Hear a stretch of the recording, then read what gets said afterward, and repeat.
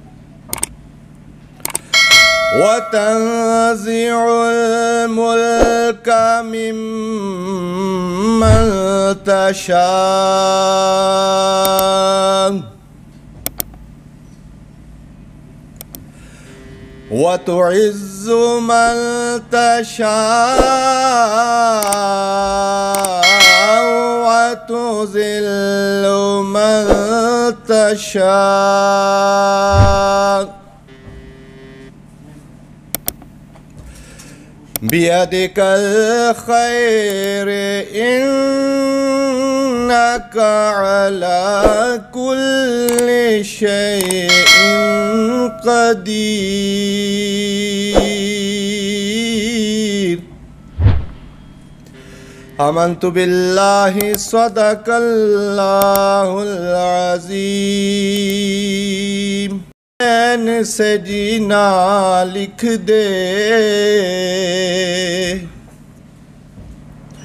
डूबे न कभी मेरा सफीना लिख दे। जन्नत भी गवारा है मगर मेरे लिए। है कातिब तकदीर मदीना। लिख दे। ना कुछ बातें होती हैं, कुछ मामला होते हैं अंडरस्टैंडिंग पैदा होती है। तो इस लिहाज से ये हमारे लिए एक खुशकस्मती है। दूसरा, मैं यहाँ पे चौधरी हक नवाज़ साहब को, जो सिर्फ़ हमारे इलाके ही के लिए नहीं, बल्कि आज़ाद कश्मीर के लिए भी पूरे इलाके में इनकी पहचान है। अपने जो समाजी इनकी खदमात हैं और दुखी लोगों के लिए ये ज़ाहरन भी और खुफिया भी जिस तरीक़ा से उनकी मदद करते हैं, शायद यही वजह है कि अल्लाह ताला ने इनको इतना बड़ा मुकाम दिया है। और जिधर भी ये जाते हैं, जहाँ पे भी जाते हैं, लोग दिलो निगाह से इनकी कदर करते हैं। आज वो बतौर मेहमान खसूसी इस तकरीब में मौजूद हैं। ये भी हमारे लिए एक आज़ाज़ की बात है और मैं उन्हें भी इस तकरीब में खुश आमदीद कहता हूँ। जो आतफ भाई ने ज़िक्र किया कि प्रेस क्लब के इलेक्शन हुए। जी, उसमें कुछ तो हमारे मुतफ़ा तौर पे दोस्त मुंतब हुए, कुछ के लिए इलेक्शन हुए। लेकिन ये एक अच्छा अमल है, एक जमहूरी अमल है।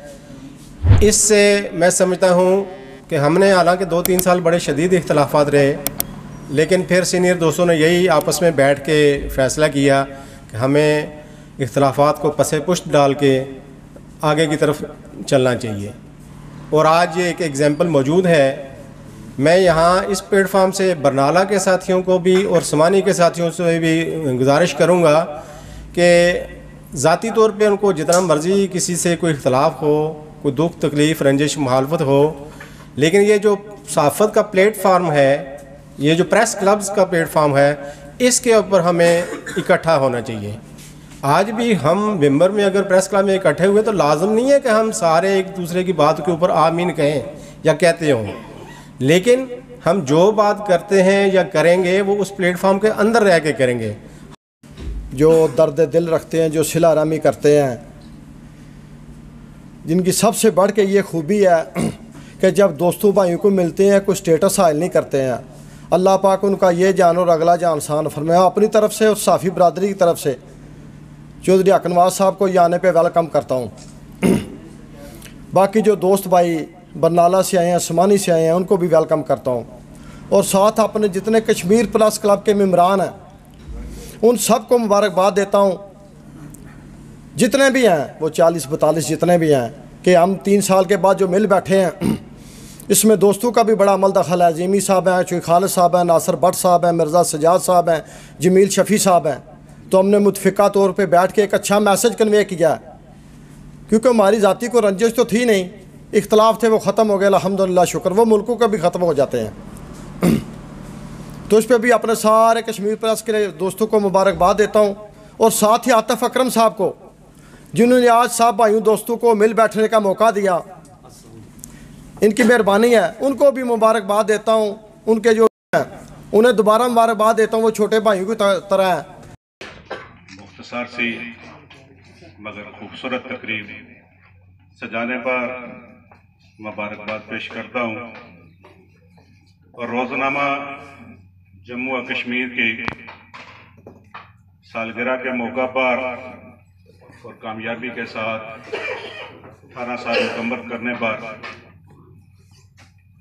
आतफ अकरम साहब को और इनकी पूरी जो जम्मू कश्मीर की टीम है चीफ एडिटर साहब हमारे भाई हैं बड़े। हमारे महबूब साहब और उनकी पूरी टीम को मुबारकबाद पेश करता हूँ।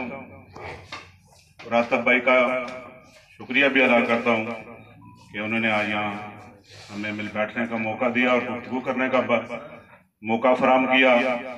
और सबसे बड़ी खूबसूरत बात यह है कि आज इस तकरीब के अंदर मेरे छोटे भाई मेरे फैमिली के मेंबर चेयरमैन, कश्मीर कमेटी। मैं समझता हूँ ये छोटा लफज है इनके लिए, चेयरमैन, कश्मीर कमेटी। उनको यहाँ मदू किया सर साहब, ज़िंदा इंसान है। कितने साथी जो मैं शायद टाइम की वजह से ना मिल सकता उनने जो वो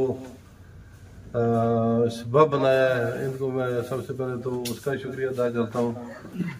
दूसरा ये है जी कि बिम्बर या बरनाला और समाने के वाले से बात हो रही थी तो हम तो एक ही हैं। कोई गलत फहमी हो सकती है। उसमें मेरा नहीं ख्याल कि मेरे साथियों में से कोई ऐसा मामला होया हो, क्योंकि मुझे तो यकीन नहीं आता, क्योंकि आप लोग सब मेरे दिल के बहुत करीब हो। और पहली दफ़ा ऐसा हुआ कि मैं खुशी से प्रेस क्लब गया हूँ जब मुझे पता चला है कि मेरे सब अपने जो मेरे प्यारे वो इकट्ठे हो गए हैं। गलत फहमियाँ दूर हो गई हैं। और सच्ची बात है भाई इसमें कोई शक नहीं है कि मेरा जो है वो रिश्ता खालिद साहब से साहब क्या है नीम साहब के साथ क्या है। तो नासिर साहब के साथ तो मैं ना भी बताऊँ तो आपको पता ही है। हाँ जी जिम्मे साहब है, नाम लूँ तो सारे मेरे अपने हैं। सच्ची बात है, बहुत गरीब है, शोकर साहब है। लेकिन बात तो ये है कि यार आपको मिलके चलना चाहिए। उसमें जो हम फादर लोग उधर बैठ के आपकी, जब बात पढ़ते हैं, सुनते हैं तो हमारे बहुत हौसले बुलंद होते हैं कि हमारे मेंबर के जो है, ऐसा काम हो रहा है कि उसमें जो है वो हमें ताज़ी रिपोर्ट मिलती है, मेंबर के काम के वाले से सियासियों के आपके साथ जो मामला चलते रहते हैं। उसमें मैं समझता हूँ कि आपके अंदर जो है वो कुबत मौजूद है कि आप जो है वो बड़े से बड़े लीडर के सामने भी आप बात मेंबर के लिए कर सकते हो, कश्मीर के लिए कर सकते हो। तो जब मैं वहाँ पर जो बात करता हूँ, कश्मीर के वाले से तो वहाँ मुझे आप सब की जो है वो सच्ची बात है, पूरे कश्मीर के वाले से मैं नुमाइंदगी करता हूँ। वहाँ पर मुझे जो है वो एक महल्ले के या मेंबर के वाले के से नहीं, बल्कि शुक्र अलहमदिल्ला अगर मैं पाकिस्तान को तो शुक्रिया अदा कम्युनिटी का ना करूँ तो वो भी नासाफी होगी, क्योंकि कोई भी प्रोग्राम कश्मीर के वाले से होता है, उधर तो उधर सबसे ज़्यादा जो है वो कम्युनिटी पाकिस्तान की होती है, चाहे वो एम क्यू एम से हों या पेशावर से हों या पंजाब से, मेरे लिए तो वो सब एक इकट्ठे होकर आते हैं तो हम कई प्रोग्राम सही तरीके से पहुँचा सकते हैं। चाहे उधर यू एन ए का दफ्तर हो या इंडिया वैसी हो या अमेरिकन कोई भी जो प्रोग्राम है, वो हम उसी तरीके से करते हैं। तो एक मेहरबानी ये करनी है कि जब भी आप कश्मीर के वाले से पाकिस्तान वाम का जो है, वो शुक्रिया ज़रूर अदा किया करो, क्योंकि वो मेरे साथ है तो मैं उधर बाज रहा हूँ। दूसरा जी आज जिस वाले से ये प्रोग्राम हुआ है, मैं बहुत खुश हूँ कि आतफ अकरम साहब ने ये बहुत अच्छे तरीके से ये प्रोग्राम कर रहे हैं। तो उनको मुबारक देता हूँ। दूसरा नेम गुल साहब सब भाइयों ने मेरे चंद लफ्ज बोले हैं। उसमें मैंने दो साल तीन साल पहले मैंने ये इरादा किया कि यार इंसान तो दुनिया में आता है आ, उसका कोई मकसद होना चाहिए। अपनी आके खा के चले जाना भी कोई मेरा ख्याल इतना बड़ा। तो मैंने वाले साहब से मशवरा किया कि क्यों ना इसके बाद जो मैं अपनी ज़मीन वगैरह लेनी और कोई बिल्डिंग ऐसी ना बनाऊँ तो उन्होंने मुझे बड़ी खुशी से बोला, यार ये तो आप क्यों नहीं आप बनाए? मैंने बोला, मैं कोई रफाई काम करना चाहता हूँ। क्यों ना जो मेरी आमदन है वो मंथली किसी के काम आ जाए। तो वो भी बहुत खुश हुए। तो उस वाले से जितना रब सचिन ने मुझे देखो उसने ड्यूटी लगानी होती है। जो किसी की भी लगा दे। मेरी लगा दे कि, किसी भाई की भी लगा दे वो उसके रहम करूँ तो उन्होंने जितना मुझे दिया मैं शुक्र अलहमदुल्ला वो अपने रिश्तेदार हैं मेरे मोहल्ले के हैं गाँव के हैं शहर के हैं। यहाँ तक मेरी पहुँच जाए मैं कोशिश करता हूँ कि वहाँ तक मैं पहुँच सकूँ। खासकर जो हादसा होता है ना उस वक्त तो मेरा ख्याल है मेरी आँख के सामने जब कोई मैसेज आ जाए तो एक दो मिनट के बाद नासिर साहब को मैसेज आता है जी वहाँ पहुंचो क्या उधर कम पेशी है और तौर पर जो जो भी है।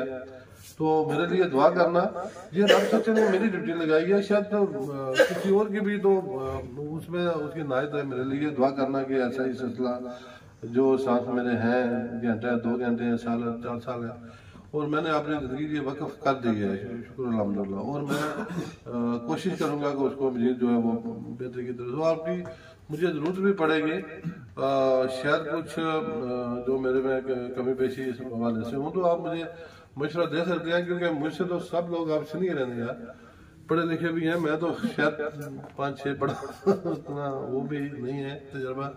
और आप मुझे मशवरा दे सकते हैं, मैं बड़ी गौर से वो सुनूँगा।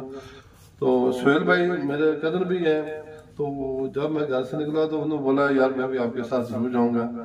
तो बहुत थोड़ा मैं ज़्यादा आज एक मिठ वाला में हादसा भी हो गया, वो भी मेरे जीत है। अभी मैंने उधर भी जाना है और ना बातें तो ज़्यादा कर लेते हैं। इसी के साथ में ज़्यादा जाता